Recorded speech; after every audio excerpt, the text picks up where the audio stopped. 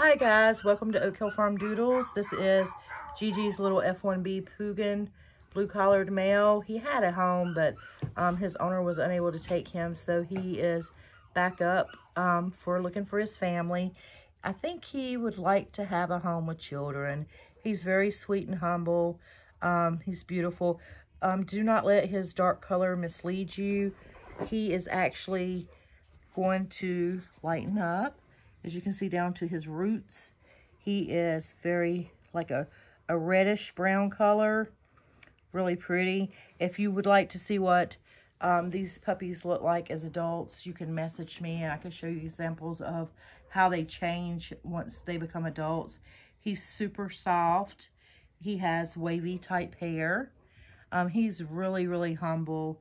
Um, as I said, he, I think he would like some children. He likes to play. Um, he is a player, but he also likes to snuggle. And he is very sweet. And he's got his beautiful eyelashes. Um, so this is Gigi's F1B blue-collared Pooghan male, which is Afghan Hound Poodle. Um, thank you for viewing our video. And if you have any questions, feel free to contact us. Thank you.